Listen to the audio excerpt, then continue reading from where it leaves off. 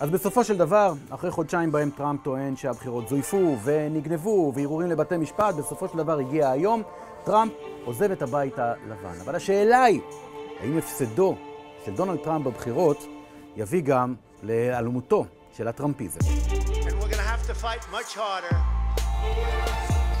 טראמפ נבחר לנשיאות כנציגה של המפלגה הרפובליקנית, אבל למעשה אין ממש קשר בין המפלגה הרפובליקנית לאותו טראמפיזם. הטראמפיזם נשען על הרעיון הפופוליסטי, לפיו החברה מתחלקת לשניים.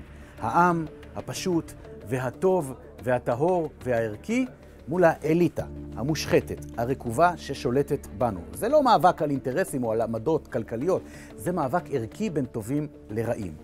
טראמפ זיהה את השבר בחברה האמריקנית וזיהה את אותם אנשים שהרגישו שהם נזנחו. המפלגה הרפובליקנית היא חלק מאותו ממסד פוליטי לכאורה, אליטיסטי, לכאורה מושחת, אבל זה לא שינה לה, כי טראמפ הביא לה את השלטון.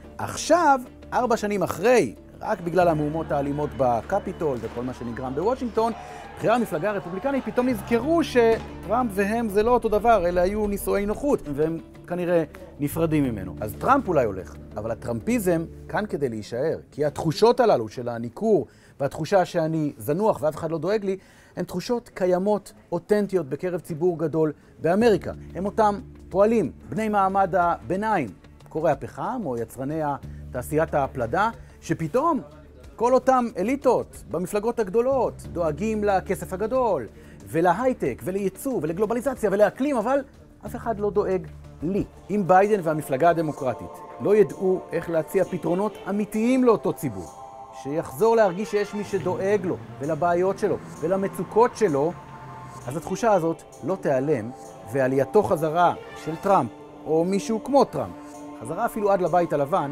יהיה רק עניין של זמן.